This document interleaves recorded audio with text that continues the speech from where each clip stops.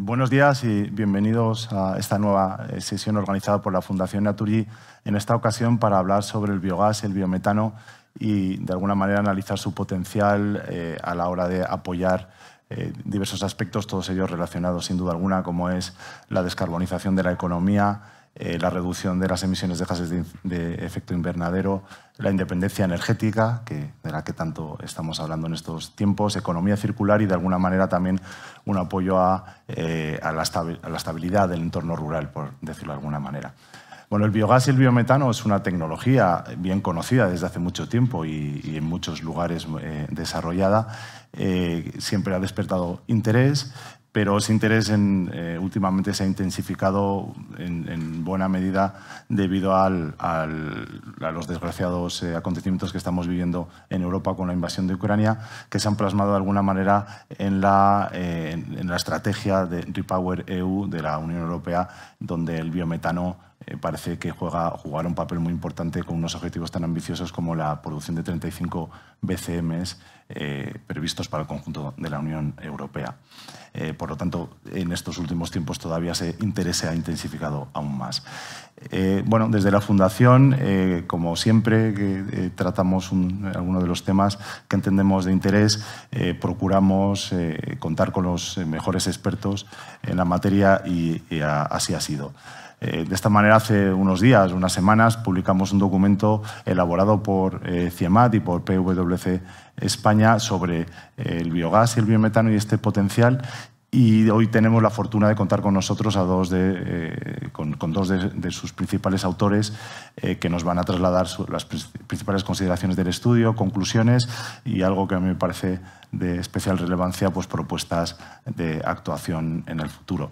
Eh, contaremos con Mercedes Ballesteros, y con, directora del Departamento de Energía de CIEMAT, y con Óscar Barrero, eh, socio de PwC España y líder del área de energía de consultoría. Después de esta presentación, eh, que duraba aproximadamente entre 25 o 30 minutos, tendremos una mesa redonda donde también vamos a contar de nuevo con grandes expertos eh, en la materia. Empezaremos en primer lugar con Gergeri eh, Molnar. Eh, Gergeri es, asesor, es analista perdón, de la Agencia Internacional de Energía en el ámbito del gas, que le pediremos que nos haga una visión más generalista de cuál es la situación del biogás y del biometano en un entorno más global luego ya nos focalizaremos más en la situación en España. Eh, contamos también con Leonor Algarra, subdirectora eh, general de medios de producción ganadera del Ministerio de Agricultura, eh, Pesca y Alimentación. bueno, es un sector que está buscando la manera de, unos grandes, resolver los grandes retos que tiene en términos de, gestión de residuos y, parece que están mirando al biogás y al biometano como, con, una, como, con gran posibilidades. Y tendremos también con nosotros a Narcis de Carreras, consejero delegado de Energía y eh, presidente de GD Forest, eh, que nos trasladará su visión también desde el punto de vista de las infraestructuras de gas que parecen claves. Óscar Barrero se incorporará también después de su presentación con nosotros al debate. Bueno, eh, sin duda alguna va a ser una sesión de mucho interés. Espero que que eh, además hablemos también de barreras y de dificultades eh, y, de maneras en las cuales deberíamos de impulsar eh, este, este, potencial que parece claro que tiene el biogás y el biometano. agradecer a todos los ponentes su disponibilidad por estar aquí con nosotros y, por supuesto, agradecer a todos los que están con nosotros en, en un número mayor de 400 personas que han mostrado interés en esta, en esta sesión. indicar desde el punto de vista logístico que cuando eh, empecemos eh, la, parte del debate, eh, podrán ustedes enviar sus preguntas a aquellos que están conectados online a través de la plataforma, que están conectados, y los que están aquí presentes en la sala, pues a través de las tarjetas que ha repartido la organización.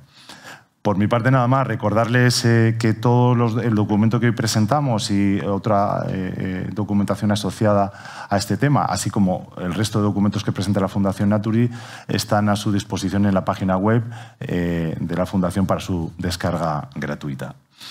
Nada más por mi parte. Eh, Mercedes Ballesteros y Óscar Barrero, pues eh, eh, muchas gracias por estar aquí con nosotros y, empezamos, por lo tanto, la primera parte de la sesión, que es la presentación por vuestra parte del documento. Muchas gracias.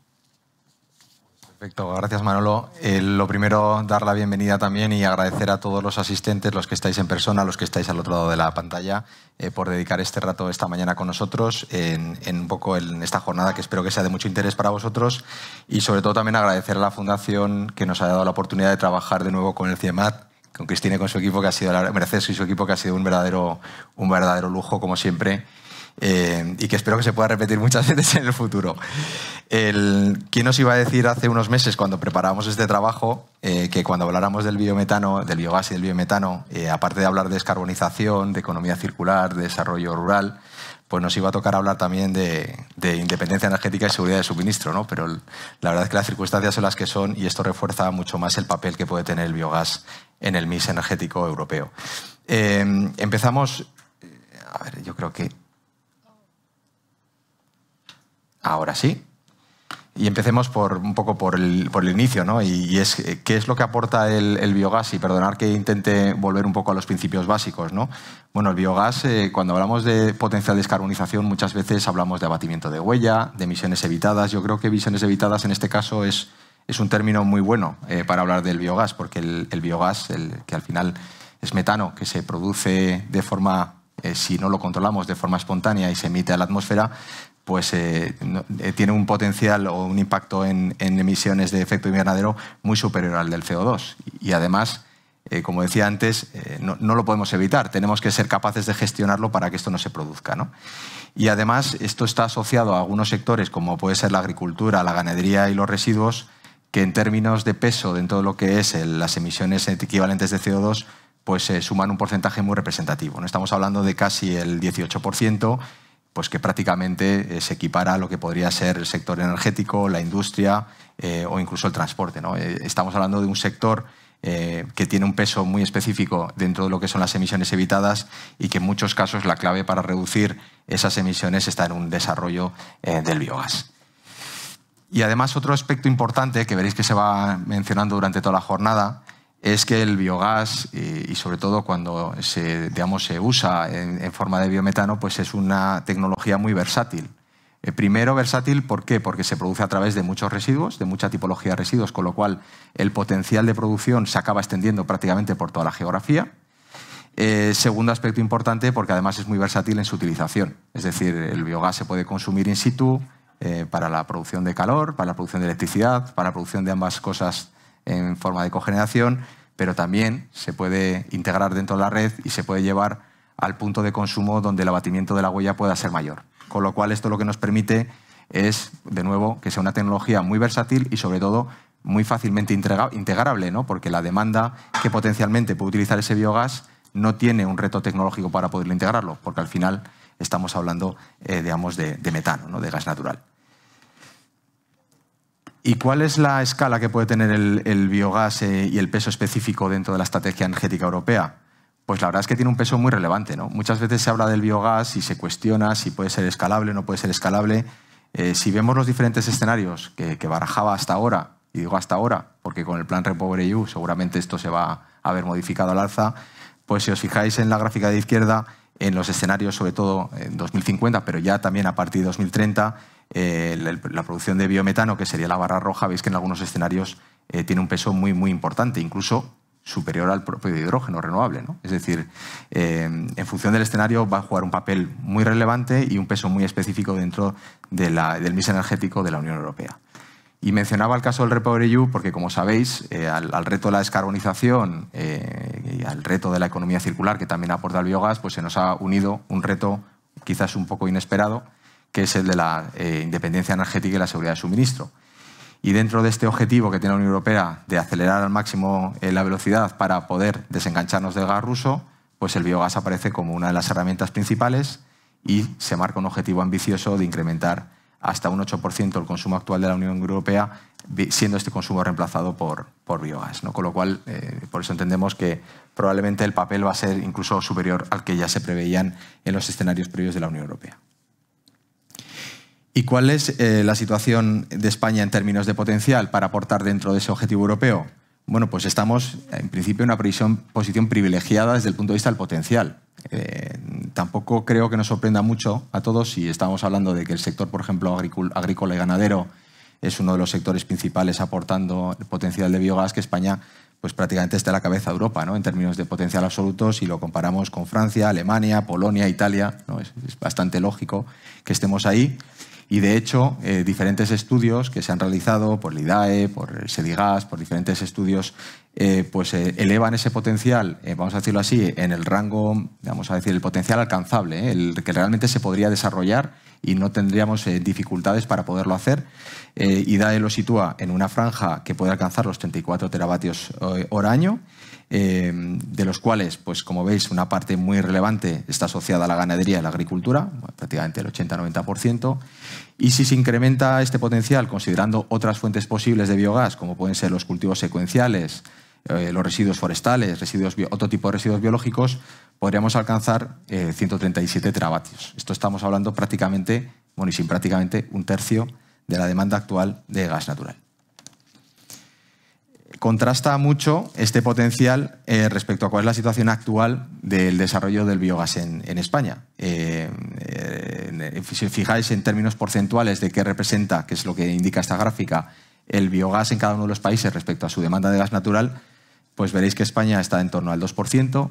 Además, prácticamente todo el potencial de biogás actual que se está produciendo se está utilizando para la producción de energía eléctrica, en su mayoría pero si lo comparamos con países como Suecia, Dinamarca, están ya cerca del 20%, Alemania está en torno al 10%, es decir, estamos hablando de porcentajes eh, muy superiores eh, de respecto a lo que podría ser España, teniendo en cuenta cómo estábamos ahí situados antes en, términos de, potencial.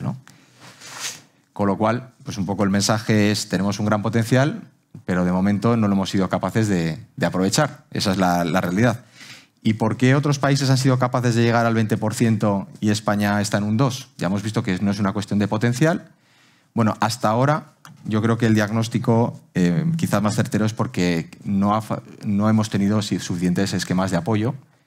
Y al final hay muchas formas de, de definir esquemas de apoyos. Eh, hay esquemas que están vinculados a otorgar eh, tarifas fijas, ¿no? tarifas reguladas, lo que llamamos el feed-in a dar primas que compensen el gap de costes que pueda existir y que de alguna forma eh, equilibre ¿no? la competitividad del biometano respecto a otras energías, que es lo que llamamos el feeding premium.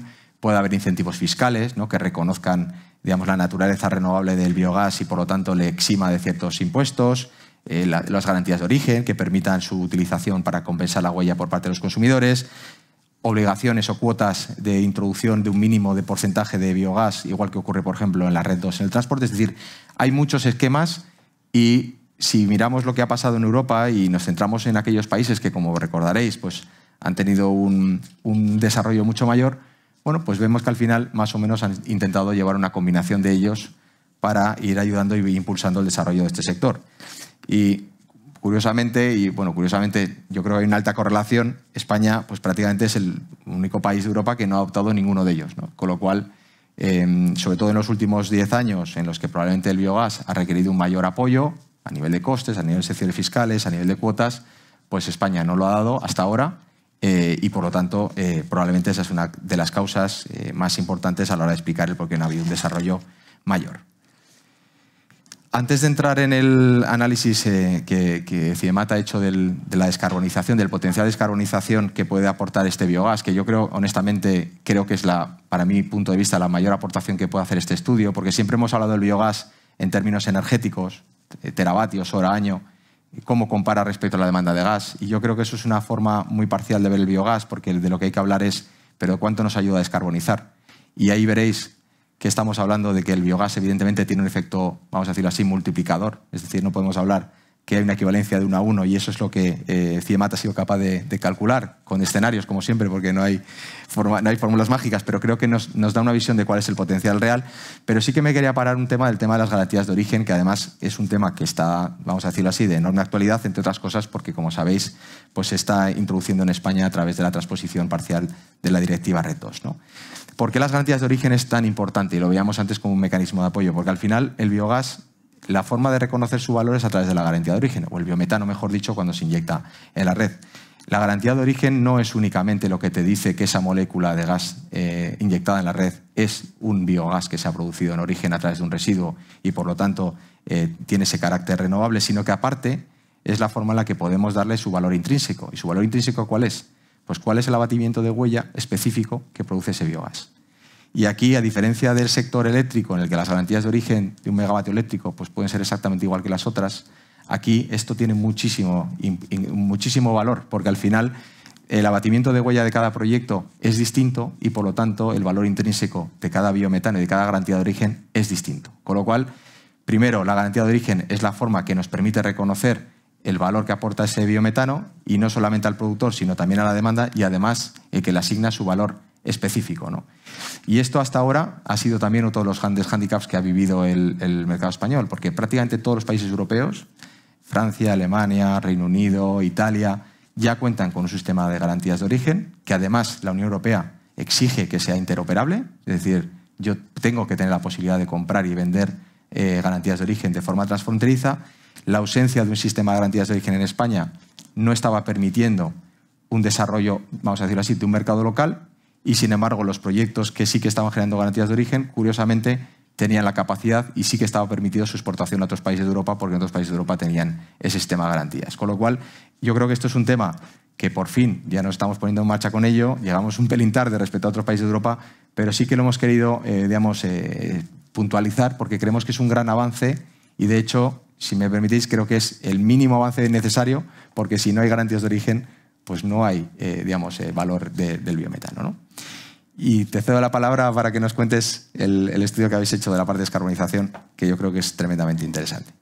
Muchas gracias, Oscar. Y bueno, no puedo empezar sin agradecer de nuevo a la Fundación Naturgy la oportunidad de, haber participado en el, en el, estudio y a Price Waterhouse, porque siempre es un gusto trabajar con ellos y aprendemos siempre de ellos mucho. Con lo cual, espero que tengamos más oportunidades, como comentabas al, al inicio.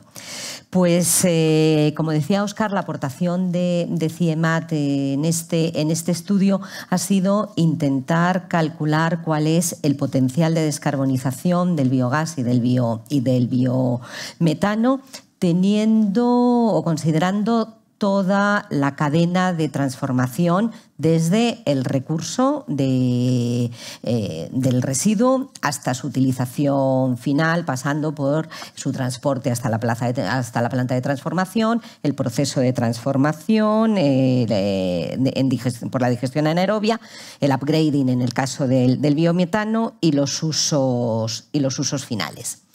No es un trabajo sencillo porque, como también decía Oscar, los eh, datos de los que partimos de potencial no son únicos, dependiendo de qué, de, qué estudio o de qué características del potencial consideremos, pues nos movemos en horquillas muy amplias y hemos intentado considerar un escenario eh, mm, más bajo o más eh, realista en el corto plazo y luego ver un poco qué posibilidades de, reducción de, carbono hay en un, escenario un poco más optimista considerando otro tipo de residuos, incluidos los cultivos, los cultivos dedicados para este, para este fin. Bueno, hemos considerado toda la primera parte de recolección del, residuo, eh, tanto sean lodos de, de depuradora, residuos municipales, agroindustriales o ganaderos, todo lo que tiene que ver con CO2 en el proceso de transporte, el proceso de transformación, en la digestión anaerobia y a partir de aquí, pues dos escenarios, o producción de biogás o producción de biometano, eh, incluyendo también el, upgrading a, a biometano. En el caso del biogás, usos en caldera y en cogeneración y en el caso del biometano, en movilidad, en vehículos pesados y también en, calderas de gas natural por inyección, por inyección a, red. Vemos en la. Mm, no sé, hay muchos números, no se verá mucho, pero simplemente eh, considerar, vamos a ver la, gráfica de, de, abajo, la tabla de abajo, un poco el potencial máximo. Aquí hemos considerado eh, los datos de potencial de recurso del IDAE, que es un poco donde nos eh, donde aplicamos todos los que los que queremos ver un poco cuál sería el potencial en, España, y vemos que dependiendo de que sean lodos de, depuradora, residuos municipales, agroindustriales, ganaderos o agrícolas, pues al total eh, tenemos un potencial máximo de producción de, de 34,36 teravatios hora al año y hemos repartido los usos de este biogás o este metano dependiendo del tipo de, residuo. Por ejemplo, en el caso del, biogás hemos eh, considerado que de lodos de, DAR no tendría sentido eh, hacer un upgrading a, biometano, habría que utilizarlo todo como, como biogás para la producción de, calor. En el caso de los residuos municipales sí que vemos que hay una posibilidad de que un porcentaje se utilice como biogás, en este caso lo hemos cifrado en un 35% eh, por ciento, y el resto utilizarlo en forma de, biometano. Bueno, hemos estado haciendo estas reparticiones entre, entre las eh, cómo podría transformarse dependiendo de los rendimientos por cada uno de los, de los residuos y hemos dado unos porcentajes de, de utilización en uno u otro sector. Partiendo de este reparto de biogás y de, y de, biometano, definido para los diferentes usos y teniendo en cuenta la fuente de energía a la que desplazan, o gas natural eh, o, autoconsumo, pues hemos calculado qué reducciones de CO2 podríamos tener para cada uno de los, de los usos. Y, teniendo en, cuenta el potencial establecido por el IDAE, pues si se explotase todo el potencial de, de biogás establecido por, por el IDAE, pues tendríamos unas emisiones evitadas que oscilarían entre 8,6 y 13,3 millones de toneladas de CO2 equivalentes al año, pero ya digo que esto se puede incrementar mucho si consideramos otro tipo de residuos, como decía antes Oscar, incluyendo los cultivos específicos para, aumentar el porcentaje de carbono de los residuos y, hacerlos eh, y que el proceso sea más, más eficiente. El mayor potencial de abatimiento de CO2 está asociado como es eh, ya sabido, a los residuos ganaderos, y aquí estaríamos hablando entre una horquilla de 5.587 y 8.975 eh, toneladas de CO2 equivalente al, año y mm, que se pueden dedicar a la producción de, generación o calor o para el sector del transporte. Eh, también, gracias al estudio que hemos, que hemos realizado y hemos intentado mm, ponerlo más, eh, más gráfico, de manera que fuera más eh, fácil verlo, hemos, hemos identificado el potencial de, reducción de, de CO2 de cada uno de los tipos de residuos evaluados y cómo podrían impactar según los diferentes usos que se den al biogás y al biometano. Hemos considerado como decía antes, los lodos de DAR, los residuos municipales, los residuos agroindustriales, los ganaderos y los agrícolas, y en función del porcentaje transformado que, mostraba en la, en la tabla anterior en biogás y en biometano, hemos calculado qué mm, eh, cantidad de CO2 podría evitarse a partir de cada uno de estos residuos en forma de biogás y lo hemos establecido en una horquilla entre aproximadamente 3.500 y, 5.200 eh, toneladas, kilotoneladas de CO2 equivalentes y en el caso de biometano una horquilla entre 6.200 y 8.000 eh, kilotoneladas de CO2 equivalentes. Y hemos intentado hacer un ejercicio más allá, que es ver la reducción de carbono dependiendo de los usos finales de ambos, de ambos gases. ¿no? Lo que mm, tiene que ver con calor industrial y residencial, la cogeneración de electricidad y calor y en transporte. En el caso del calor industrial y residencial, las reducciones se establecen en torno cercanos, eh, por encima de los 6.600 kilotoneladas de CO2 equivalentes y un máximo de, casi 9.000. En el caso de cogeneración de calor y electricidad, entre 331 y 463 eh, kilotoneladas de CO2 equivalentes. Y en el caso del transporte, entre 2.633 y 4.041.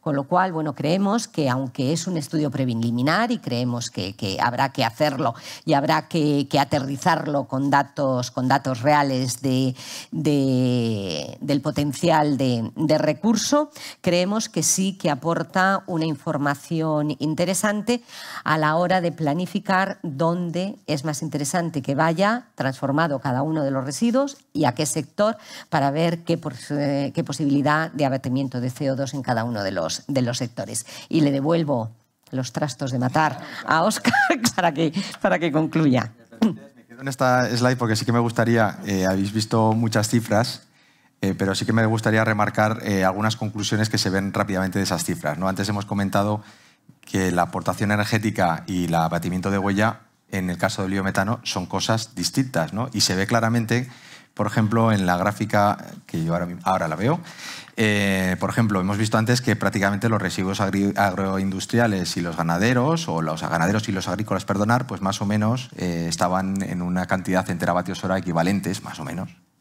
Eh, fijaros qué diferencia hay en términos de abatimiento de huella, porque efectivamente, como muchos de vosotros sabréis, cuando estamos hablando de los residuos ganaderos, el abatimiento de huella es muy superior. Lo mismo nos pasa cuando lo llevamos a la aplicación final, es decir, cuando lo llevamos a los usos, como puede ser el calor industrial o el transporte, pues tenemos también un abatimiento de huella mayor que en muchos casos cuando se está consumiendo in situ, por ejemplo, para la generación de electricidad. Y por lo tanto, como en medios está esa división entre el biogás y biometano, aunque evidentemente todo se ha basado en escenarios y al final, evidentemente, no, tenemos la ciencia para poder saber exactamente si el porcentaje correcto es 65 o es 35, pero hemos intentado hacer la mejor aproximación en, mejor, en base a nuestro entendimiento, pues también evidentemente se ve como eh, hay una divergencia también en términos de abatimiento de huella en función de un camino u otro. ¿no? Eh, por hacer un poco lo que nosotros llamamos los, datos clave de todas las cosas que hemos visto hasta ahora, eh, y, yo creo que son cifras al final muy relevantes. ¿no? Y empezamos por la primera de todas, que yo creo que quizás es la que ya era más conocida. Estamos hablando de un potencial de biometano muy grande. ¿no? Estamos hablando de una horquilla de 34 teravatios, eh, lo que considera el IDAE, y, el IDAE ha partido de una base mucho más amplia, pero cuando habla de 34 habla de 34 con un potencial muy alcanzable, ¿no? es decir, muy, realizable pero es que incluyendo otro tipo de fuentes eh, que se están digamos, desarrollando y que pueden eh, digamos, ampliar muchísimo más esa horquilla hasta los 137 teravatios, ya estamos hablando de un 30% prácticamente de la demanda. Recordar que Europa, en esta emergencia energética en la que nos estamos eh, viviendo ahora, está marcando como un objetivo digamos, de corto plazo de llegar al 6-8%. Hay países que han llegado al 20%. Estamos hablando de un potencial considerable ¿no? Que, no, que no podemos desperdiciar. El, segundo punto, y seguro que luego tendremos oportunidad de, comentarlo en la, mesa, me gustaría compararlo respecto a los objetivos de la hoja de ruta del biogás. Es decir, estamos hablando de un potencial de entre 34 y 137 teravatios. El objetivo que marca la hoja de ruta es de 10 teravatios en 2030, de los cuales, eh, pues esto más o menos es un 3%, ¿no? más o menos, de la demanda de gas natural, de los cuales de ese 3% un 1% es biometano bueno, ahí vemos un cierto desalineamiento también respecto a este potencial identificado.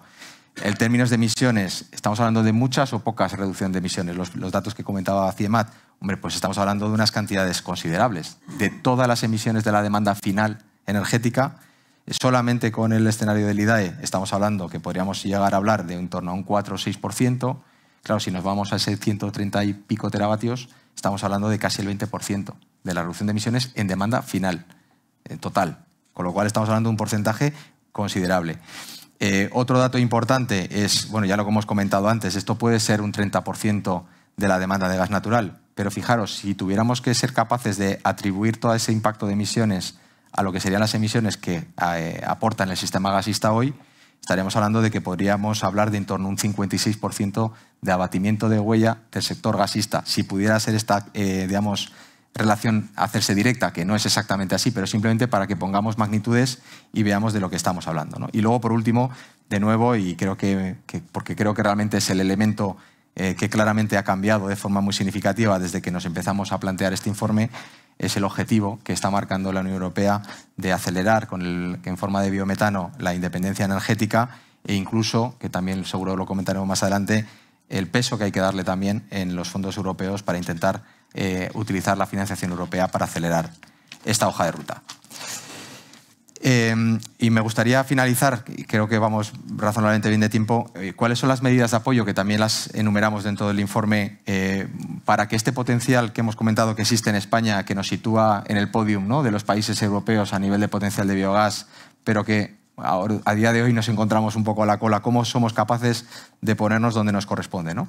Bueno, pues al final yo creo que, teniendo en cuenta que el contexto actual no es el mismo que podía existir hace 10 años, pero que algunas de las recetas siguen siendo válidas, pues hemos intentado estructurar una serie de medidas eh, digamos, en, torno a lo que serían medidas promotoras y, medidas, vamos a decirlo así, eh, necesarias eh, para poder conseguir este éxito. ¿no?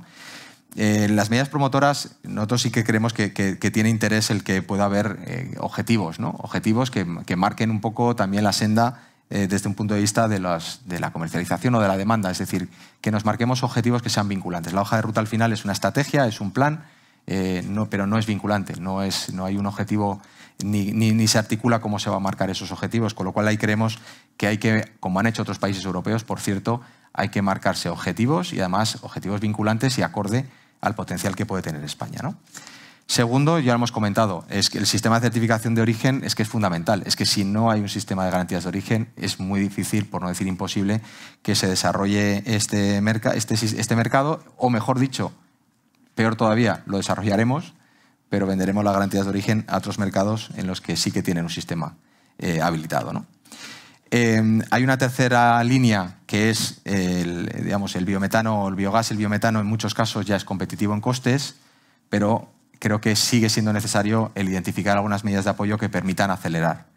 ¿Cuáles son ellas? Pues, por ejemplo, la compensación de los derechos de emisión. Es decir, al final, al otro lado, hay un consumidor que se quiere descarbonizar y que está utilizando el biogás o el biometano para descarbonizarse. No tiene mucho sentido que con la regulación actual eh, con una garantía de origen puede hacer una compensación voluntaria, pero si está, está dentro del sistema de derechos de emisión, pues no pueda machear y decir, como estoy comprando biometano, ya no tengo por qué pagar los derechos de emisión. Pues esto, paradójicamente, no es solamente una cuestión española, es una cuestión europea, todavía no se ha recogido en la, en la regulación y es un caso en el que la regulación va un poquito detrás de lo que realmente tiene sentido y lo que las empresas están demandando. ¿no? Esto llegará, no tiene ningún sentido que, por ejemplo, eh, no, se pueda compensar directamente ya las emisiones. ¿no? Hay otro tercer, un segundo aspecto que es eh, darle, vamos a decirlo así, una cierta estabilidad o visibilidad al inversor. ¿no? Aquí cuando estamos hablando de, biogás o de biometano, pensar que estamos hablando de instalaciones que en muchos casos, en muchísimos casos, están asociados a pequeños promotores y que en algunos casos, además, dentro de esos promotores están los propios ganaderos, los propios agricultores. Eh, hay que, cuando alguien invierte en una planta de biogás o de biometano, pues requiere tener una cierta visibilidad de que va a poder recuperar unos ciertos mínimos su inversión. ¿no? Y aquí, igual que en otros eh, sistemas, como puede ser las renovables eléctricas, se han establecido subastas que garantizaban precios mínimos o precios fijos, pues creemos que esto también es un mecanismo que para el biogás y biometano tendría mucho sentido, incluso más, teniendo en cuenta el tipo de promotor que hay detrás de, este tipo de proyectos y que en muchos casos pues, no tiene la capacidad de ir al mercado y hacer acuerdos a largo plazo directamente con compradores. Em, otro mecanismo de apoyo que pensamos que es interesante es la financiación de los costes de inyección, es decir, ahí hay una parte eh, de, lo que serían los proyectos de, biometano que tiene que ver con el último eslabón, vamos a decirlo así, que es cómo ese biogás ya reformado y purificado se permite inyectar en la red, ese coste de inyección eh, que de alguna forma puede penalizar el, business case del proyecto, pues se podría financiar a través de los costes regulados del sistema gasista y de alguna forma eh, eh, fomentar el, desarrollo de estos proyectos, socializando el coste respecto a, aquellos otros que no estén teniendo interés de descarbonizarse. Eh, y luego medidas para, digamos, otro tipo de medidas que, como decía, en algunos casos yo creo que no son ni siquiera específicas de, de este sector. ¿no? La simplificación administrativa. Yo creo que el tema de las tramitaciones, los procedimientos administrativos y medioambientales para desarrollar plantas en España pues son un, auténtico dolor. Y yo creo que en este caso, eh, teniendo en cuenta además qué tipo de plantas estamos hablando, no estamos hablando eh, instalaciones enormes, ¿no? yo creo que hay que buscar claramente mecanismos de simplificación administrativa para que esto eh, al final no, se atasque en, la burocracia y en los trámites de la administración.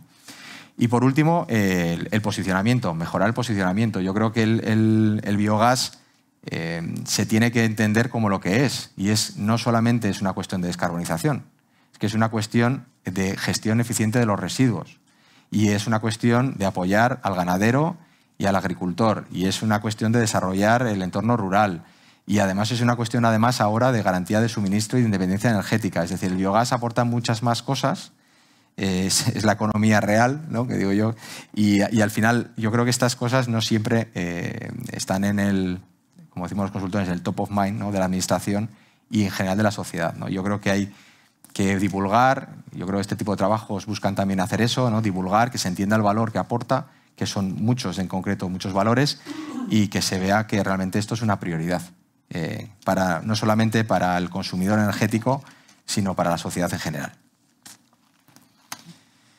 Muchas gracias.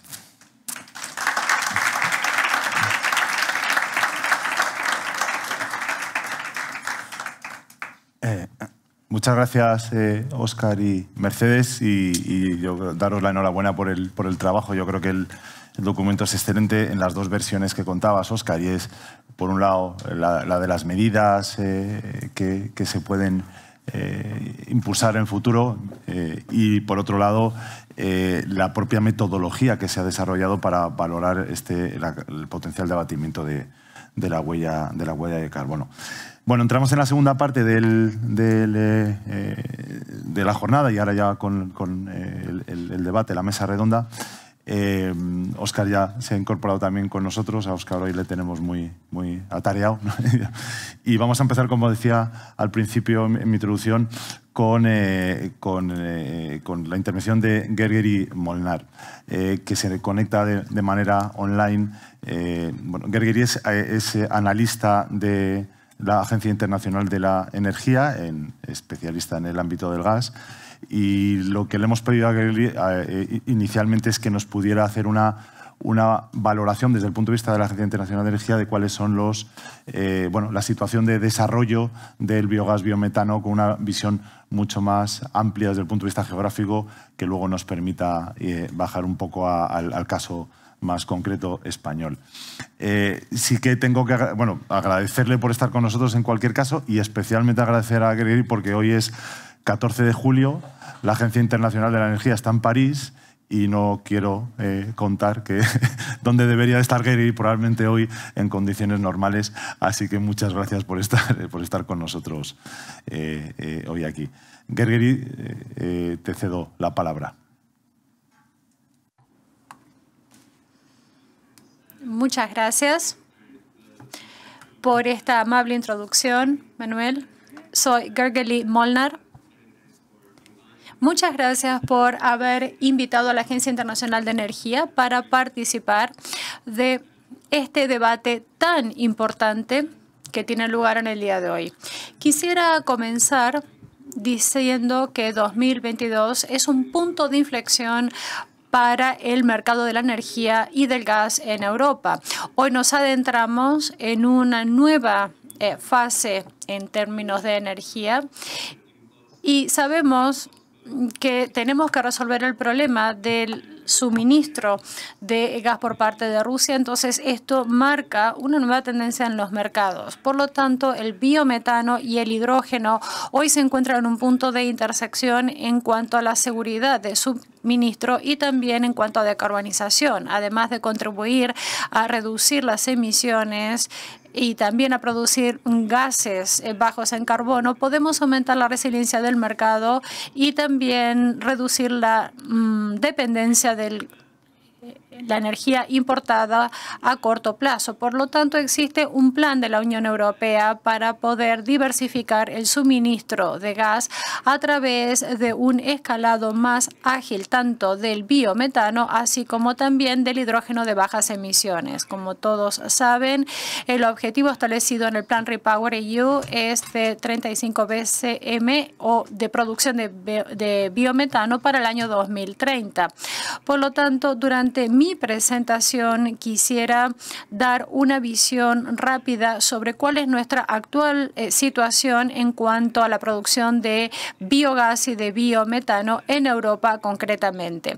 Si pasamos a esta diapositiva, podemos ver la, cuál es la imagen global que tiene la producción de biometano actualmente. De acuerdo con nuestras estimaciones, la producción de biometano eh, aumentó en un eh,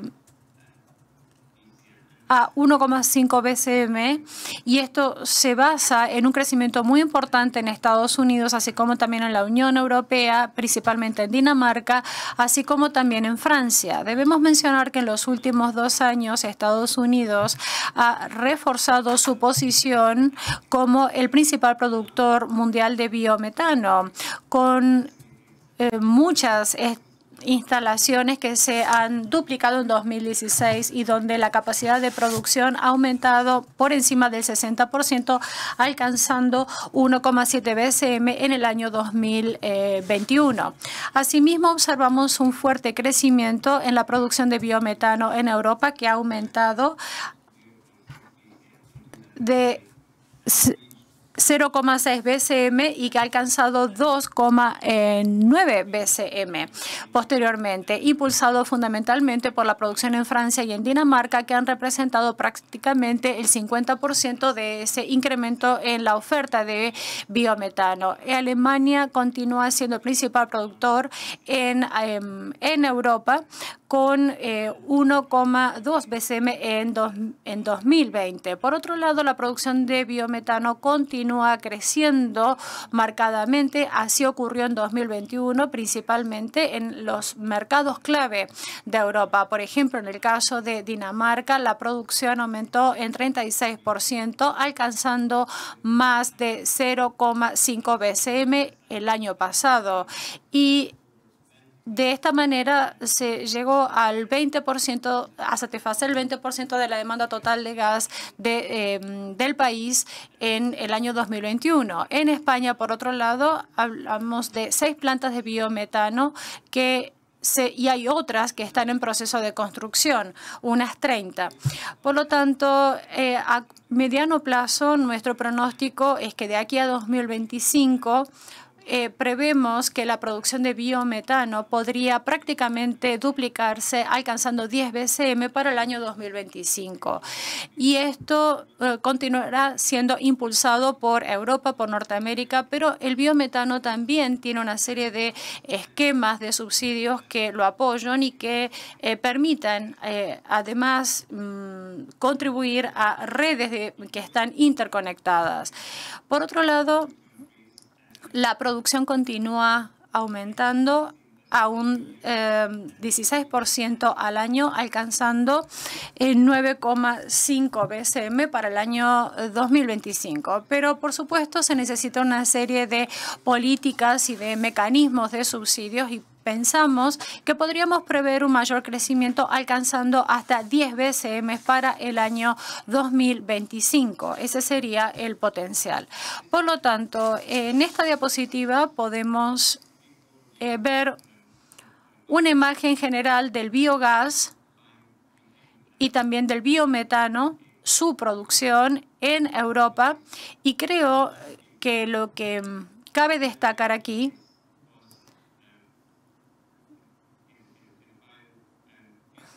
es que la producción de biogás es quien eh, prevalece en 150. Eso es lo que corresponde a 2021 y esta es la cuota de biogás que ha aumentado Si lo comparamos con el biometano, la cuota es menor porque hablamos de un 30, eh, 30 eh, teravatios hora. Por lo tanto, eh, en cuanto a materias primas, esto se ve dominado principalmente por las materias primas agrícolas, tanto para el biometano como para el biogás.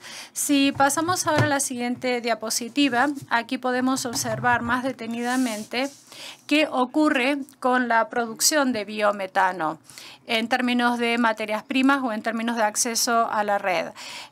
¿Qué pasa con los eh, cultivos dedicados? Esto es lo que ha dominado eh, la producción de biometano, pero su cuota se ha reducido considerablemente en la última década para utilizar otras soluciones más sostenibles, como por ejemplo residuos agrícolas o bien residuos orgánicos. Por otro lado, eh, tenemos dos tercios de... Mm, y tenemos la cuota de los cultivos energéticos que ha, bajado a un 30%. La siguiente diapositiva nos muestra qué pasa con la red de distribución. Un 20% corresponde al sistema de transmisión. Y si tenemos en cuenta lo que dice la Asociación Europea de Biogás, muchas plantas no están conectadas a la red de biogás o no existe información sobre este 20% de las plantas de biometano. Bien, esta diapositiva simplemente nos muestra cuál es el potencial del biometano dentro de la Unión Europea. Como podemos ver en esta diapositiva, este análisis sugiere que existe un potencial técnico que se acerca a 100 eh, BCM, pero también es importante destacar que aproximadamente 35 BCM de biometano que se puede producir para por menos de 20 MBTU a un coste promedio de aproximadamente 15 dólares por MBTU. Por lo tanto, a modo de comparación, en este momento los precios del gas y sabemos que en, en, Europa se ubican por encima de 50 dólares por MBTU.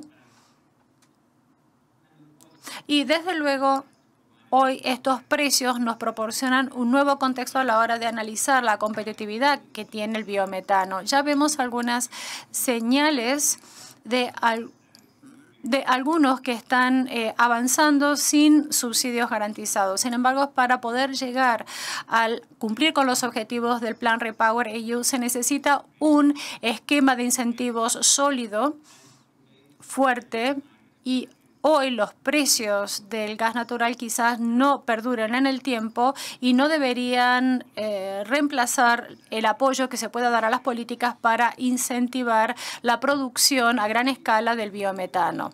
El objetivo aquí es reducir entonces el coste del desarrollo del biometano implementando políticas que permitan eh, establecer eh, gases em, que tengan en cuenta cuál es el impacto que tienen sus emisiones. Y finalmente, el último punto que quisiera destacar es que si escalamos estas emisiones, este gas de bajas emisiones, ¿qué pasa con el sistema gasista y qué pasa cómo mm, se escalaría esta producción? Incluso en el caso de la producción de biometano, que podría inyectarse en la red de distribución. Hemos hablado que la mitad del biometano se suministra directamente a estas redes de distribución. Por supuesto, esta alta penetración que se prevé en el futuro va a requerir una mayor integración entre las redes de transmisión y de distribución respectivamente. Y esto incluiría la introducción de estaciones de flujo inverso o de compresores para eh, pasar de la distribución a la red de transmisión. Asimismo, esto permitiría el acceso de biometano a, aquellas zonas que están conectadas a las eh, redes de distribución y también permitiría cumplir con la demanda de estacionalidad en Europa, la demanda de gas. Quisiera agradecer a todos por su eh, atención y por, habernos, eh, por haberme invitado y quedo abierto para la mesa redonda. Muchas gracias. Eh, bueno, has, nos has pasado datos muy, eh, muy relevantes y que seguramente luego en el, en el, debate que tengamos entre todos nosotros pues, pues saldrán y, y podremos matizar. Si sorprende un poco la situación que tenemos en Europa eh, o las previsiones al 2025 de 10 BCMs con la ambición que tenemos tan, tan importante ahora de llegar a los 35. ¿no? Parece que, que vamos a tener que hacer cosas para que, para que eh, esto pueda suceder. ¿no?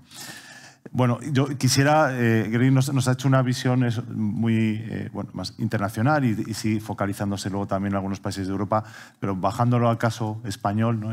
Oscar, eh, vosotros en vuestro estudio habéis estudiado eh, el potencial y, de alguna manera cierta comparación también. está claro, me parece que estamos por detrás en el desarrollo, que tenemos un potencial muy considerable.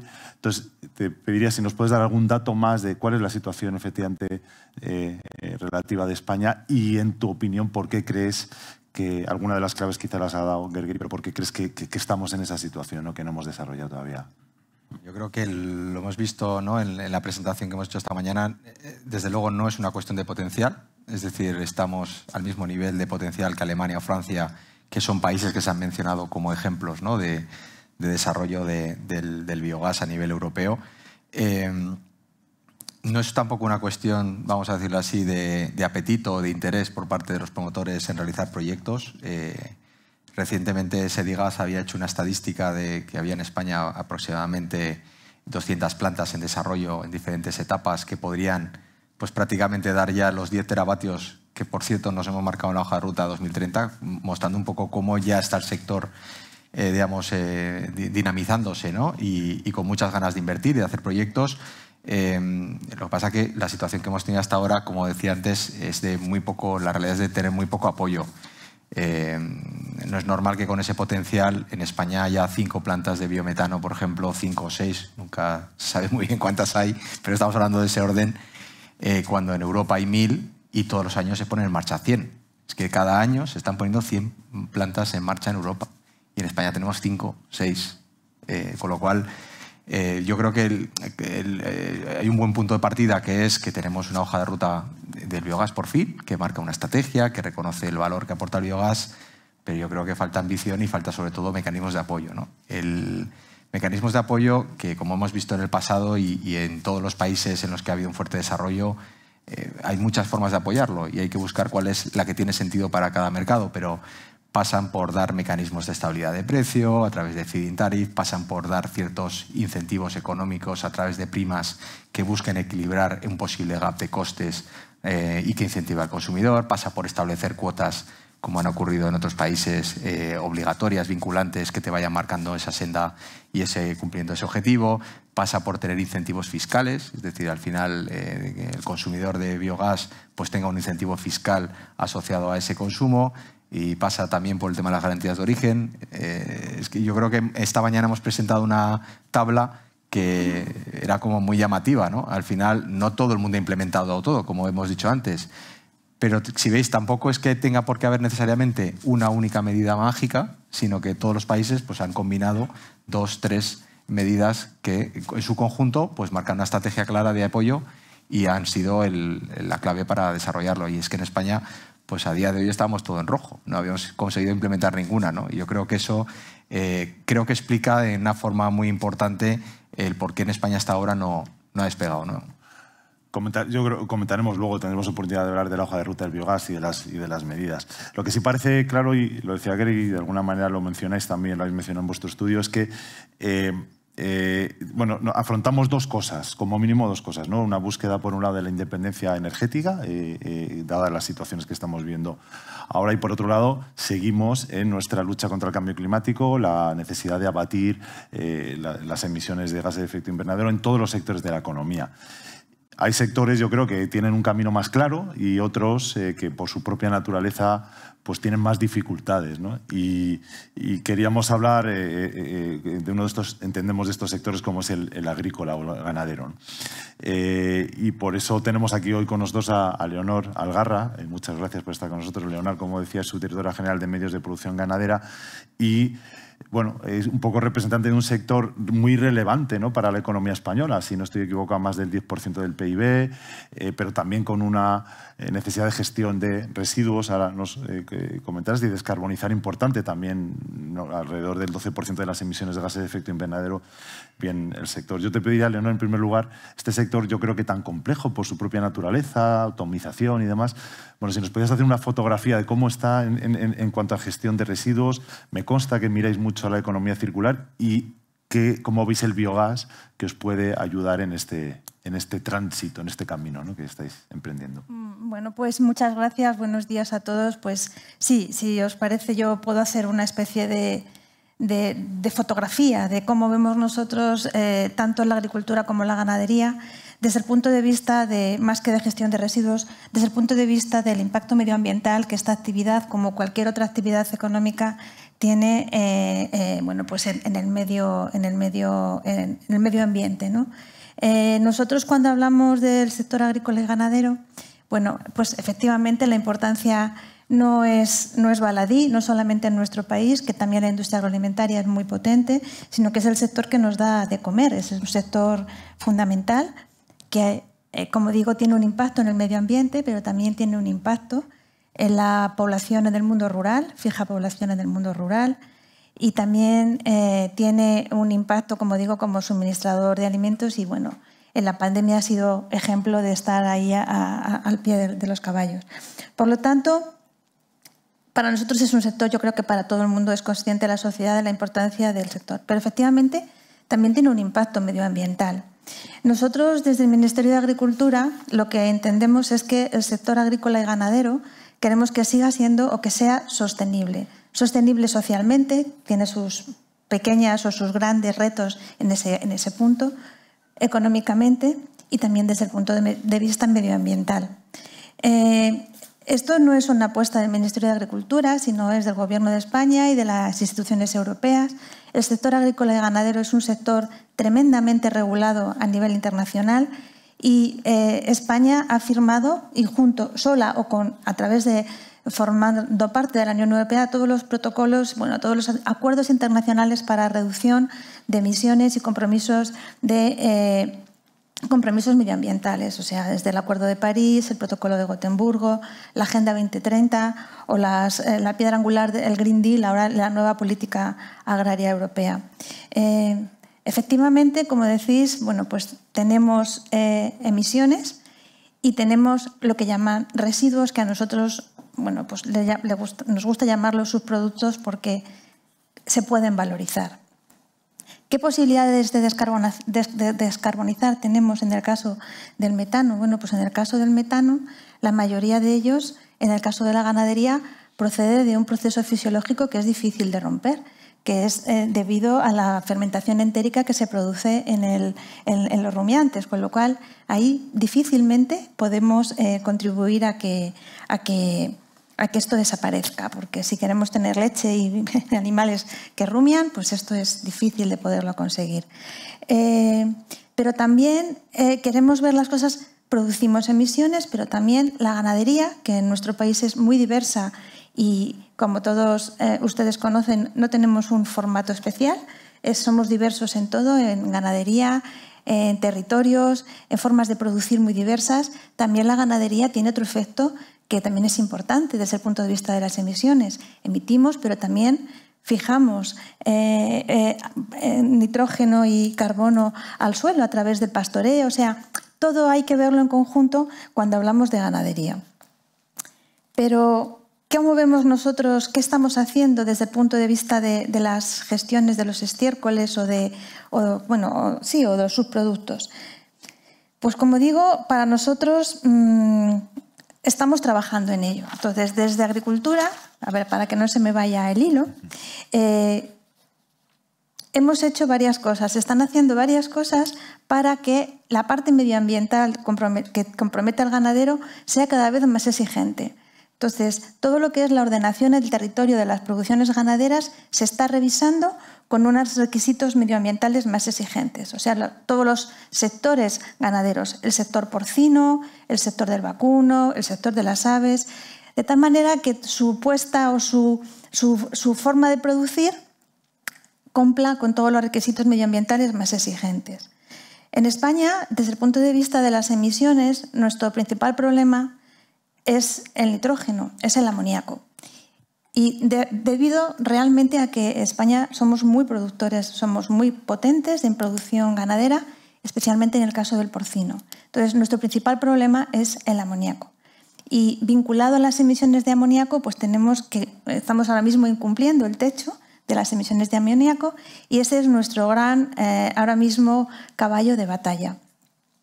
Eh, ¿Qué es lo que estamos haciendo desde las administraciones para que los sectores ganaderos sigan siendo, como digo, sostenibles? Pues el sector ganadero ahora mismo está obligado, en cumplimiento de la legislación que, es de base para que sigan produciendo, a cumplir unos requisitos medioambientales exigentes y tener en sus propias instalaciones la aplicación de unas MTDs, mejores técnicas disponibles para reducir las emisiones. Entonces, cada ganadero tiene que aplicar técnicas para saber cuánto emite y para intentar reducir esas emisiones. Por lo tanto, eh, el sector ganadero está cumpliendo y nosotros pensamos, la Administración también, de hecho hay herramientas que dentro del Plan de Recuperación y Transformación y Resiliencia se han puesto en marcha para eh, crear estos sistemas obligatorios para el sector ganadero. Hay un sistema que bueno, pues ustedes no conocerán, pero se llama EcoGAN, que estamos poniendo en práctica ahora y que va a permitir a cada ganadero saber cuánto emite para poder saber si puede seguir produciendo o no, si está cumpliendo la legislación o si no, qué tiene que hacer para seguir siendo sostenible medioambientalmente y por tanto seguir produciendo. O si le permite seguir creciendo en su explotación o no tiene posibilidad de crecer. Entonces, estas cosas en ganadería ahora mismo son las que están haciendo. ¿Qué es lo que pasa con los, eh, en este caso con, el, con el metano? ¿Qué posibilidades hay? Pues efectivamente el biogás es una gran posibilidad, es una posibilidad para poder valorizar este subproducto que nosotros no lo llamamos residuo, porque como decimos, para nosotros, dentro del tema de economía circular, pues algo que puede valer para algo no es un residuo. Le estamos eh, poniendo en valor. ¿no? Entonces, la producción de biogás o biometano es una, es una posibilidad para el sector. De hecho, dentro, como digo, del Plan de Recuperación, Transformación y Resiliencia, nosotros en el ámbito del Ministerio de Agricultura se han dado apoyo, una medida, unas líneas de, financiación para que los ganaderos, de manera pequeña dentro del ámbito de nuestras competencias, eh, pudieran hacer la eh, circularidad dentro de su explotación, es decir, utilizar el, metano, o sea, eh, para, pequeña, para, para, su uso en su propia explotación. Esas, esas medidas a, nivel pequeño, a nivel individual, están potenciadas por el Ministerio de Agricultura. El otro, la, otra parte de la que hablamos aquí, las grandes puestas en marcha, les, les correspondía más desde el punto de vista competencial al Ministerio de Transición Ecológica. Pero sí que decir que nosotros estamos trabajando en eso y que para el ganadero también ahora se le ofrecen también, se le abren otras posibilidades, el biogás, también nosotros, España es dependiente de fertilizantes para para el campo.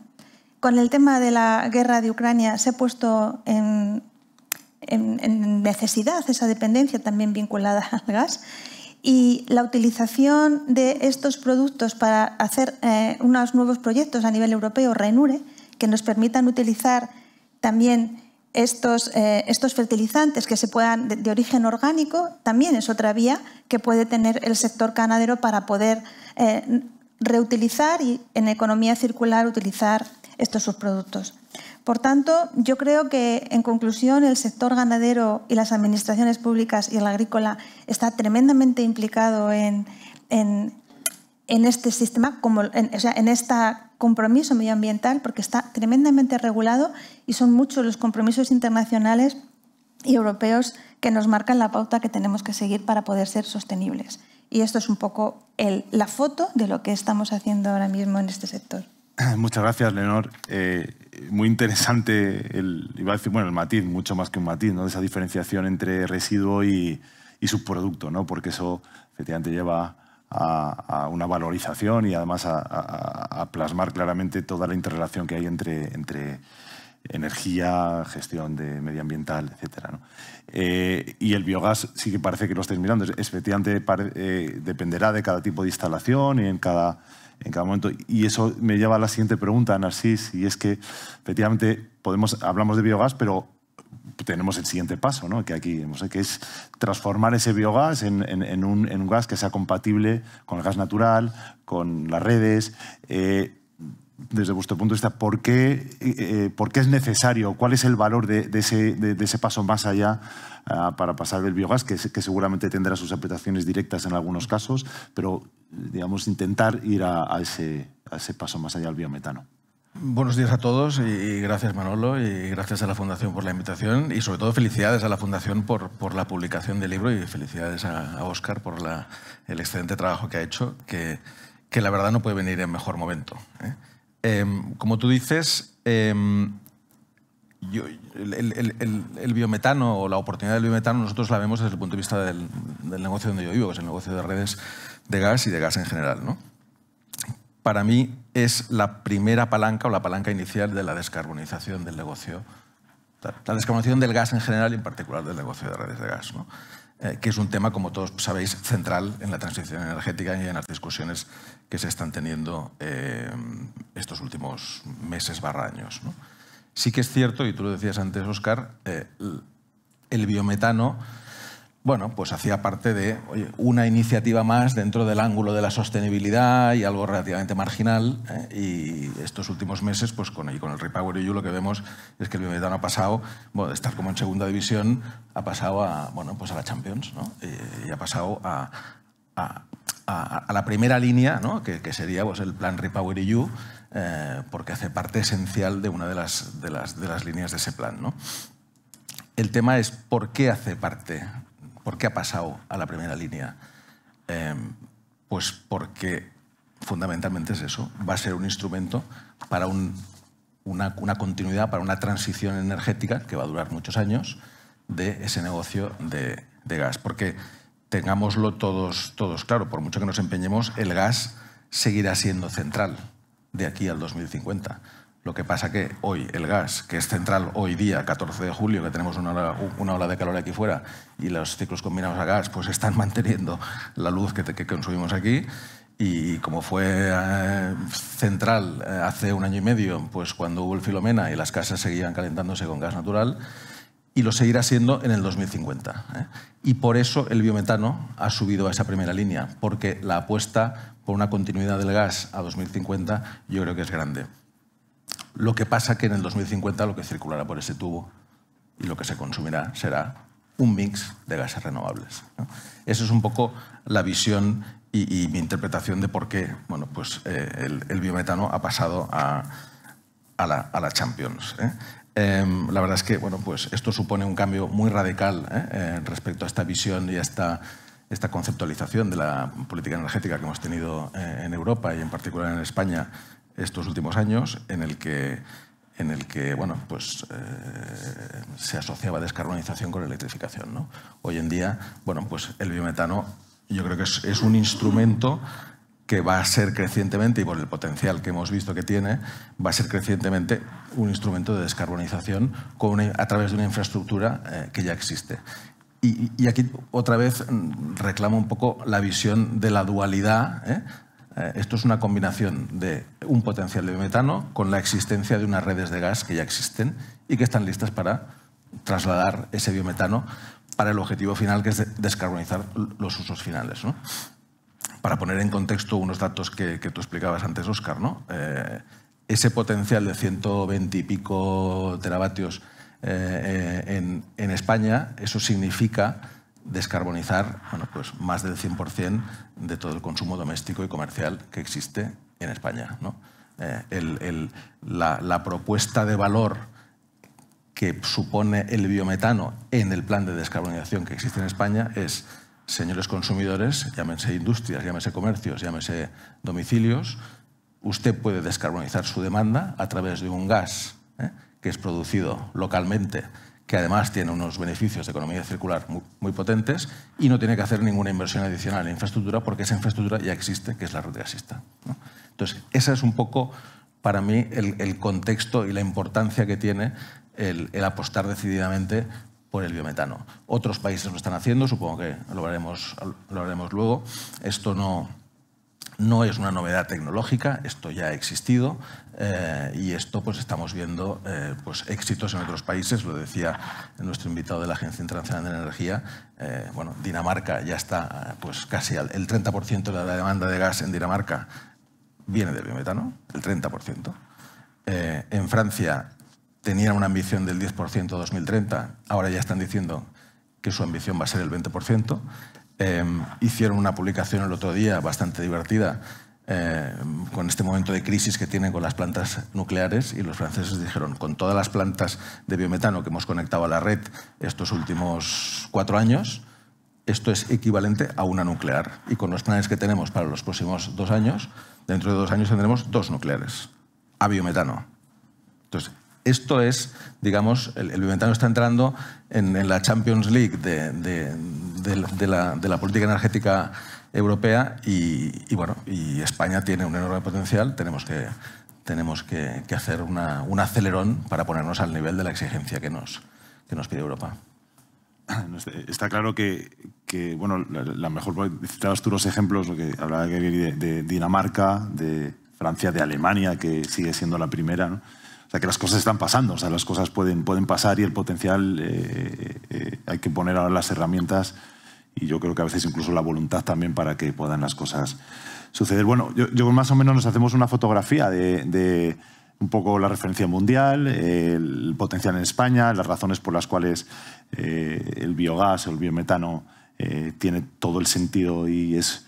Bueno, vayamos a, los planes de, nuestro país, ¿no? Y es la hoja de ruta del biogás que hemos mencionado eh, aquí en varias ocasiones. Yo sí quisiera, Oscar, eh, bueno, eh, si, nos podéis hacer una, una valoración sobre la hoja de ruta del biogás. entiendo que, bueno, que estamos empezando un camino. Es verdad que desde que se lanzó la hoja de ruta del biogás han pasado cosas y, seguirá evolucionando. pero bueno, una, una valoración sobre, sobre el grado de ambición de esa hoja de ruta que se publicó hace, hace unos meses. Antes que decir, efectivamente, os iba a decir eso precisamente. Por favor, oye, todo lo que os queréis interrumpir, Yo le iba a complementar. que el esfuerzo que están haciendo los franceses, además de tener una nuclear de biometano, el ganadero francés le saca un 7% más de margen bruto al litro de leche del español. Que eso es un cálculo que hemos hecho y es. La valorización. 7% nos puede parecer poco o mucho. Bueno, 7 céntimos de litro, si cuesta un litro, puede ser bastante. No, volviendo al punto que decías, eh, yo creo que al final, eh, y creo que hay una cuestión que, hay que reconocer, y es que tenemos una hoja de ruta. Y cuando alguien ha hecho un esfuerzo de hacer una estrategia y de poner el biometano en la agenda, pues hay que reconocerle que, digamos, que es un paso importante, ¿no? Porque hasta ahora no lo teníamos y ahora tenemos algo que podemos criticar, podemos discutir, pero que está ya en la agenda digamos, de la política energética del Ministerio y, por lo tanto creo que eso es un acierto y hay que reconocerlo. A partir de allí, evidentemente, pues podremos comentar si las cuestiones que han introducido son las apropiadas o no, o si la ambición es suficiente. Pero creo que tenemos una hoja de ruta y eso es una muy buena noticia porque reconoce que el biometano tiene, el biogás tiene un papel y tiene que estar ahí. En cuanto a la ambición, yo creo que al final eh, creo que es un tema bastante objetivo que la ambición se ha quedado un poco corta, ¿vale? Y probablemente es algo que estamos seguro a tiempo de corregir, porque al final, eh, si tú marcar una, como no sé, como cuando mi jefe me marca los objetivos cada año, ¿no? Pues al final tiene que decir, oye, ¿cómo está? ¿Qué están haciendo los demás? ¿Cuál es el potencial que tienes? ¿no? ¿Cuál es el punto de partida? Y en base a eso tienes que establecer un, un dato, ¿no? A dónde queremos llegar. Yo creo que marcar un, un, objetivo de un 3%, por ejemplo, cuando Europa está diciendo que entre poco, un poco tenemos que ir al 8%, pero eso a la media. Los países que tienen más potencial tendrán que ir más rápido. Estamos hablando de países que llegan casi al 30%. Los nuestro entorno más directo, como Alemania, Francia, están hablando ya de llegar al 20%. Yo creo que marcar un 3 se queda corto ya. Y es que, de hecho, la realidad del mercado lo va a sobrepasar. Si ahora mismo ya hay proyectos en desarrollo que te permiten alcanzar ese 10%, ese 3% con lo que ya hay hoy. Entonces, si yo le fuera a mi jefe y le dijera que mi objetivo me lo marca con lo que ya tengo hoy vendido, me diría, no, mancho, por lo menos tres veces más. Pues eso es exactamente igual. Yo creo que tenemos que de verdad marcarnos una ambición mucho más fuerte, identificar cuáles son los aspectos que hay que probablemente mejorar. Yo creo que en la hoja de ruta eh, creo que hay un aspecto también muy positivo y es que eh, habla de la inyección, aunque establece una relación que creo que es un poco artificial. Yo creo que hay que buscar cómo descarbonizamos más con un recurso que tenemos, que son los subproductos que vienen de la industria de la ganadería, y hay que buscar el mejor camino para descarbonizar. Con eso, lo máximo.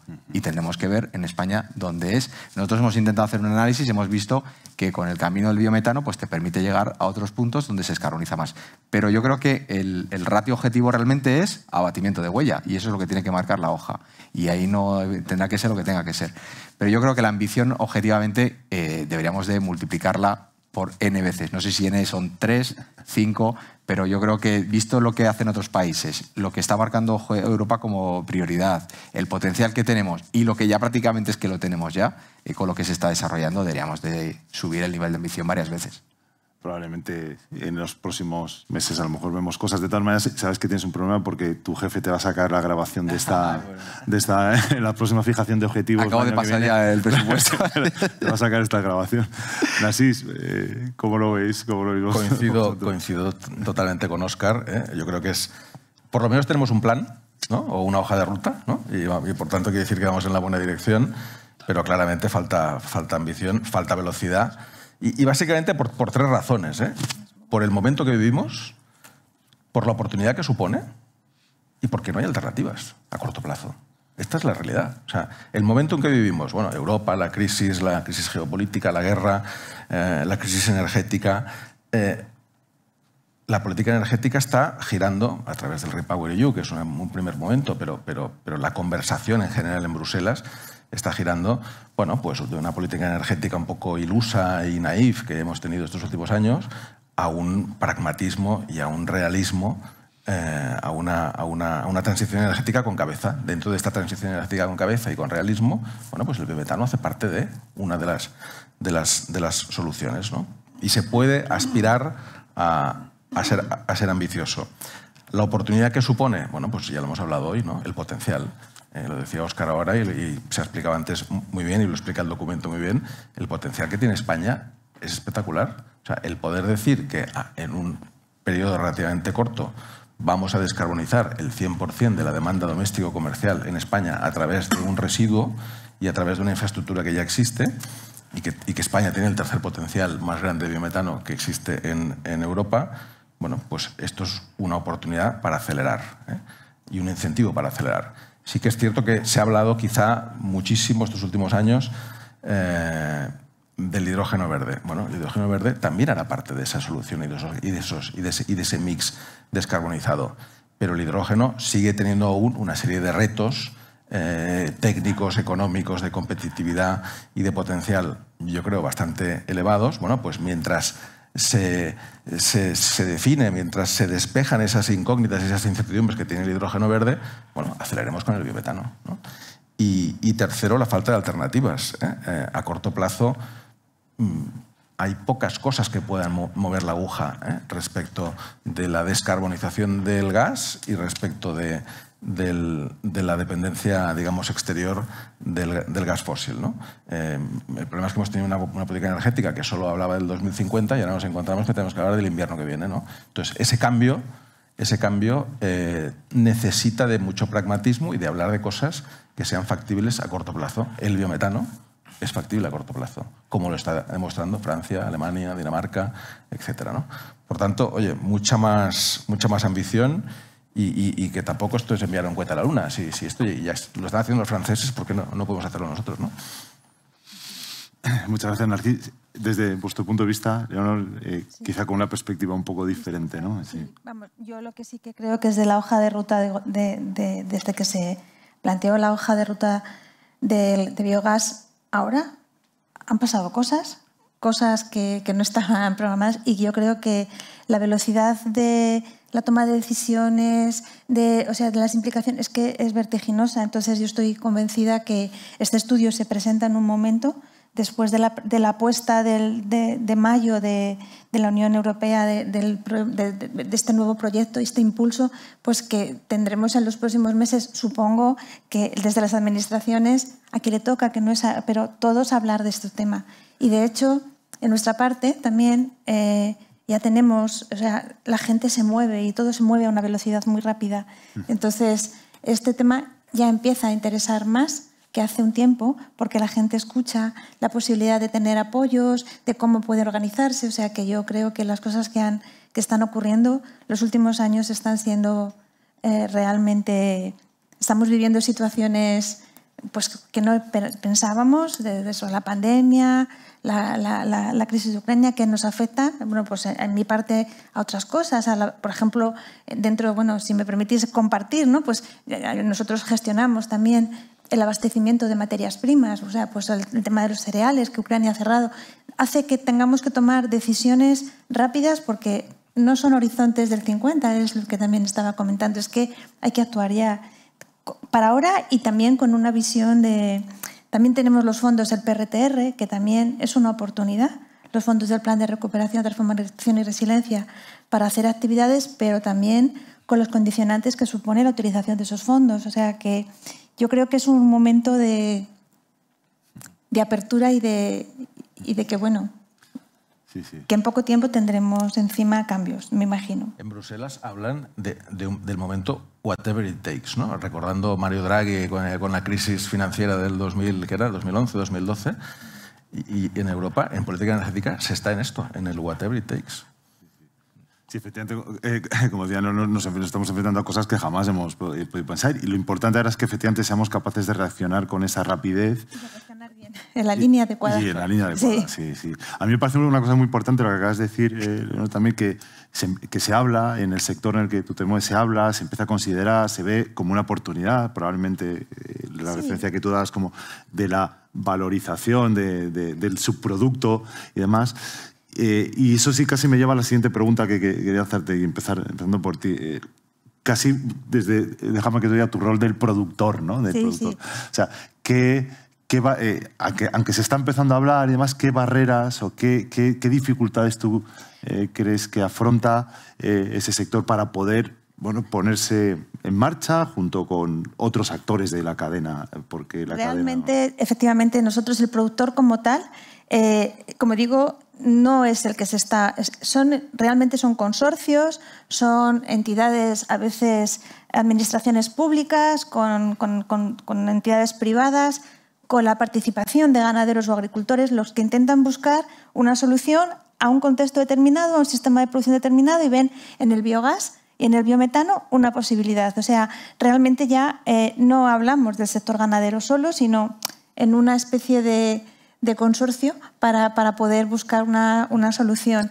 El es que eh, esto requiere unas infraestructuras y eso es que el sector ganadero por sí mm, formaría parte, sería un eslabón más en, la, en, este, en, esta, o sea, en, esta, en esta estructura que, que fuera necesaria. Sí, está claro, o sea, no puede ir solo y efectivamente a lo mejor... No puede ir solo y yo creo que debe ir acompañado, pero también tiene que ir asesor, bien, bien asesorado. Es decir, eh, el ganadero no es el... o sea, quiero decir, hay que... Quiero ser clara, el ganadero tiene un producto, pero ese producto también tiene un valor para otra cadena. O sea que no debería ser el que debería eh, soportar ningún pago por este producto, sino que incluso nosotros pensamos que debería también tener, una prima o alguna compensación, porque él está, por eso para nosotros es tan importante que los ganaderos lo que producen son subproductos, no son residuos que yo tengo un residuo y me lo quitan. Entonces, eh, casi prácticamente debería agradecer que me lo quiten, sino que yo estoy valorizando un producto. Entender que nosotros defendemos a los sectores ganaderos y agrarios. No, supongo que, la virtud estará en, efectivamente en, encontrar el encaje el entre equilibrio, todos los, los costes. sin duda, eh, quizá a lo mejor en España los estiércoles que tenemos, los que más tenemos, son el sector ganadero más importante es el, sector porcino. Y este estiércol o purín tiene un contenido de agua muy, muy elevado. Entonces ese a lo mejor también es, o sea, habría que, cada, cada uno tiene que hacer sus cuentas, ¿no? Sí, sí, sí. Manolo, yo creo que dentro de esta necesidad de divulgar y de concienciar, que desde el Ministerio donde los agricultores y los ganaderos se ven reflejados, se hable de esto, yo creo que es una aportación muy importante, porque lo, que no se puede pensar es que esto solamente es un tema de energético, ¿no? No, no, es un tema del ganadero, del agricultor, que es el que tiene primero que tiene que ver la oportunidad y la necesidad. yo creo que es muy importante que se vea también que hay iniciativas como las que comentabas, que incluso estáis apoyando ciertos tipos de proyectos desde vuestro ministerio para que se vea que esto está, es un tema core ¿no? de la propia industria, en este caso del propio ganadero, del propio agricultor. Así es. Otro, otro de los, bueno, que forma parte de, la, de la, común solución al, problema o a la situación son las redes. ¿no? Y se habla mucho ah, sobre hasta qué punto están preparados. Tú lo citabas antes, son, son instalaciones que están disponibles, pero bueno, a veces eh, se comenta, se, mezcla, yo creo que en ocasiones también con el hidrógeno. Eh, te pregunto, ¿cómo, cómo, cuál es el grado de preparación de las redes eh, y, qué, debería de hacer falta para que pudiera llegarse a la inyección efectiva del biometano? En, yo, creo personalmente que el, tema, o sea, las redes de gas hoy están listas para el biometano, las, las que hacen circular, las que distribuimos gas fósil. no es un tema. Con el hidrógeno bueno, pues hay preguntas y sobre todo hay debates de modelo de negocio, de modelo eh, regulatorio y, evidentemente de las incertidumbres que tiene a efectos de, producción y de competitividad. Pero con el biometano no y las redes de gas, oye, y, se, hay que decirlo de manera muy contundente, las redes de gas, las actuales, no tienen ningún problema en cuanto a, recibir bueno, pues ese biometano inyectado y usarlo como el gas que que, hacemos circular hoy. ¿no? Se decía en el estudio, no hay un tema de redes, no hay una issue de tecnología. La tecnología ya existe y está probada y está funcionando en todos esos países que están acelerando el, biometano. Eh, si me apuras, el biometano hoy en día es competitivo, tal como está el precio del gas. ¿no? Por tanto, pues también tenemos una capacidad de comercialización, eh, o el sector tiene una capacidad de, de comercialización muy grande. ¿no? ¿Qué falta? Pues falta bueno, pues toda la retaila de apoyos, ¿eh? que lo veíamos en el cuadrito aquel donde España pues, salía con todo de cruces rojas. Bueno, pues hay que trabajar en eso ¿eh? y hace parte de la hoja de ruta. El tema de las garantías de origen, lo has dicho tú, Oscar, fundamental. ¿eh?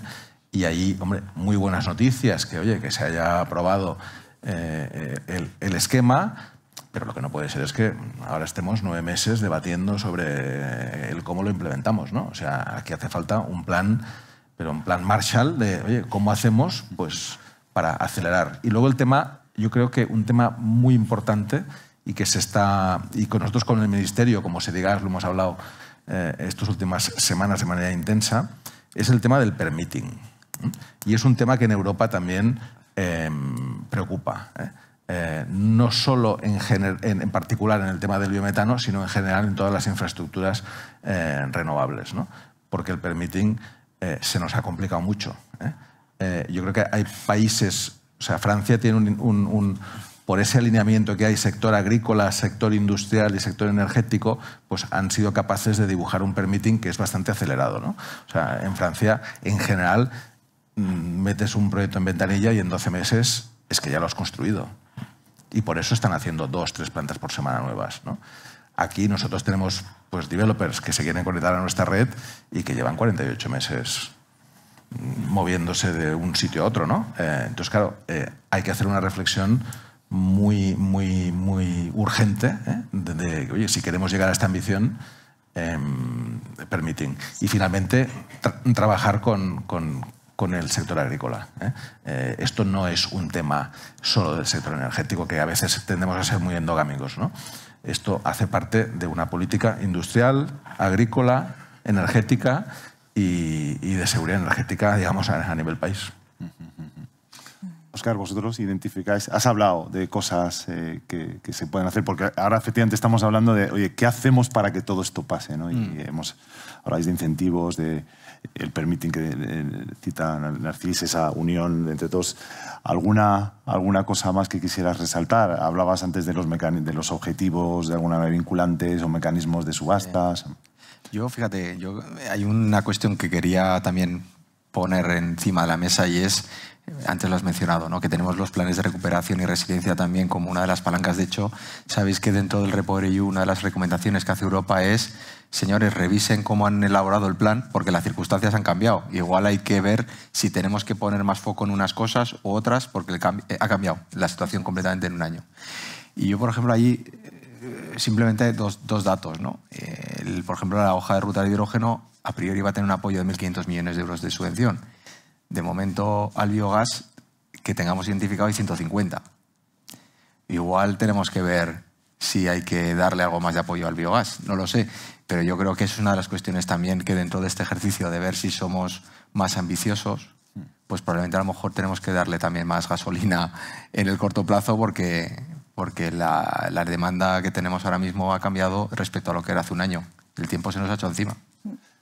Y garantías al inversor, quizás también, ¿no? De alguna manera poder asegurar. Eh, sí, al final. hemos visto en otros. Correcto, al final pensar en lo que decíamos antes, ¿no? muchos de estos proyectos están desarrollados conjuntamente por un promotor, con, con el propio generador del subproducto, y al final estamos hablando de plantas pequeñas, no penséis que estamos hablando en general ¿eh? de plantas enormes, con lo cual tenemos que pensar que los mecanismos en base a los que se han estructurado otros proyectos, como puede ser el mundo de las renovables eléctricas, pues a lo mejor aquí tenemos que pensar más todavía en otro tipo de mecanismos.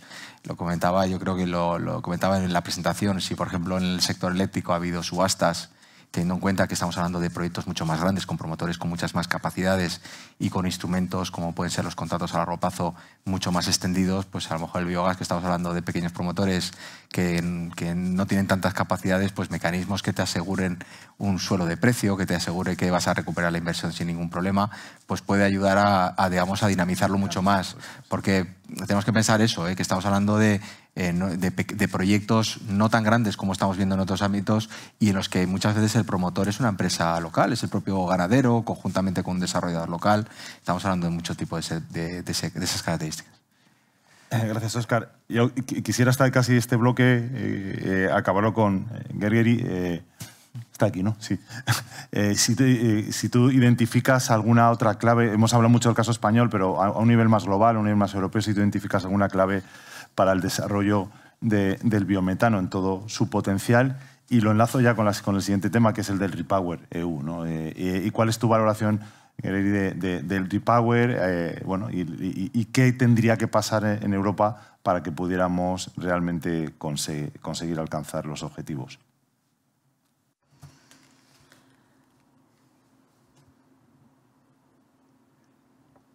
Muchas gracias, Manuel. Bien, en primer lugar, creo que es muy importante establecer el marco de políticas adecuados para marcar una dirección clara para el biometano y también para el desarrollo del biogás. Creo que ese es el punto de partida. En segundo lugar, debemos entender claramente la complejidad de la cadena de valor que tiene el biometano, el biogás en cuanto a su producción, porque tiene que ser algo descentralizado, hablamos de múltiples capas que están implicadas. Tenemos que reconocer toda esta complejidad. Nos queda totalmente claro, y esto ya ha sido mencionado por los miembros del panel, lo clave que resulta eh, marcar el rumbo correcto. Y también tenemos que buscar formas de apoyar iniciativas que permitan beneficiar las economías de escala. Queda claro también, en función de los ejemplos que se han discutido durante este debate, Dinamarca, Francia han demostrado que resulta muy importante tener esquemas de apoyo y de subsidios que proporcionen a los eh, desarrolladores una visión clara en cuanto a la financiación de sus proyectos. Creo, por lo tanto, que los mecanismos de apoyo deberían estar tanto del lado de la oferta como de la demanda. Eh, hablamos de cupos, hablamos de cuotas y es muy importante, además, tener mecanismos regulatorios que permitan reconocer el valor del biometano facilitando su comercialización. Y las garantías de origen en este sentido pueden resultar un instrumento interesante. Por tanto, en cuanto a nuestras previsiones y como hemos señalado al comienzo, Europa podría incrementar su producción de biometano a 5,5 BCM, el mejor de los escenarios posibles, y como tal, bueno, puede resultar un objetivo ambicioso para el año 2030. Por tanto, creo que debemos acelerar la implementación de la producción de biometano desde ahora mismo. Creo que si llegamos a 10 BCM para el año 2025,